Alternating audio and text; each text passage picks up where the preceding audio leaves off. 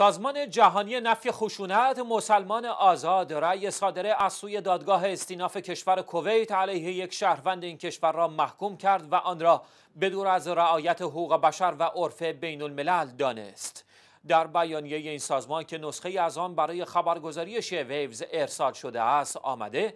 مطلع شدیم که دادگاه استیناف کشور کویت بدون رعایت حقوق بین المللی آزادی بیان و بدور از عرف جهانی رأی خود را درباره احمد آشور یکی از شهروندان و فعالان تویتری این کشور صادر کرده است. این بیانیه افزود در این حکم احمد آشور خلبان نیروی هوایی به سه سال حبس با اعمال شاقه محکوم شده و این در حالی است که دادگاه کویت در ابتدا رأی به دو سال حبس و پرداخت مبلغ هزار دینار کویتی داده بود ولی پس از اعتراض وکیل احمد آشور حکم حبس وی را از دو سال زندان به سه سال تبدیل کرد.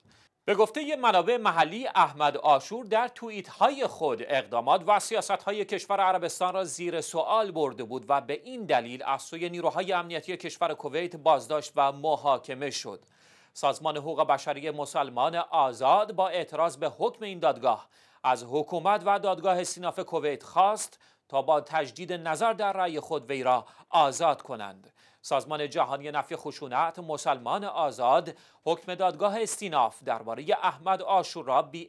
به تمام آزادی ها و مغایر با حقوق اولیه شهروندی دانست و به دولت مردان کشور کویت درباره عواقب وخیم این گونه احکام هشدار داد. گفتنی است احمد آشور یکی از فعالان تویتری کشور کویت است که به اتهام انتقاد از سیاست‌های عربستان سعودی در نادیده گرفتن حقوق شهروندان و نیز حمله به کشور یمن توسط نیروهای امنیتی کویت بازداشت و سپس محاکمه شد.